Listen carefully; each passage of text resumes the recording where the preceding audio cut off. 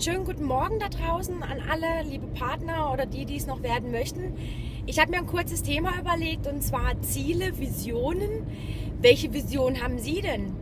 Wissen Sie, was mir damals sehr, sehr geholfen hat? Ich habe mir eine Zielcollage erstellt und die hatte ich mir in der Küche an dem Ort, an dem ich mich am meisten befinde, aufgehangen und habe mir einfach aus dem Katalog oder aus dem Internet ähm, Dinge ausgedruckt oder ausgeschnitten, die mir wichtig waren. Also sprich, mir ist es wichtig, unbedingt mein Traumhaus zu finden und mir ist es auch wichtig, mein Traumauto zu fahren.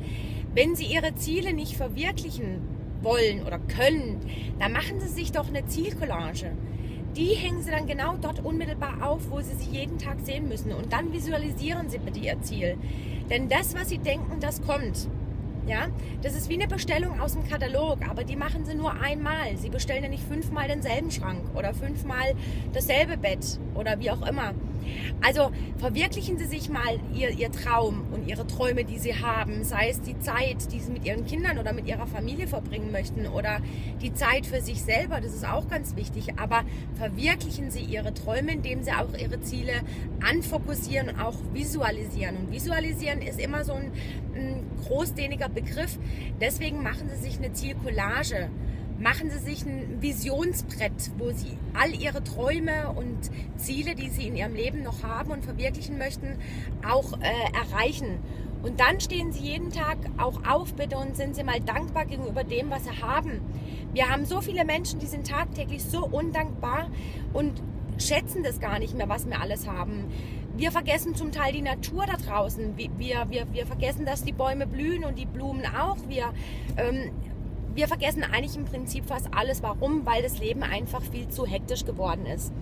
Und da möchte ich Sie noch mal kurz dran erinnern, sind Sie mal ein bisschen dankbar. Ich habe es auch lange oder ich habe mir auch lange schwer getan, dankbar gegenüber meinem Leben zu sein, eben weil man auch mit dieser Gesellschaft so in Verbindung steht und das alles immer schnelllebig ist und man oftmals unter Druck steht, unter Zeitdruck oder Zeitmangel oder Druck von einem Arbeitgeber. Ähm, aber sind Sie mal dankbar. Stehen Sie mal morgens auf und wenn Sie den ersten Fuß aus dem Bett genommen haben, sind Sie Danke und sagen das auch dreimal bitte. Und glauben Sie mir, werden, Sie werden an Ihr Ziel kommen. Denn das, was Sie denken, das kommt. Und wenn Sie positiv denken, kommen Ihnen positive Dinge zurück.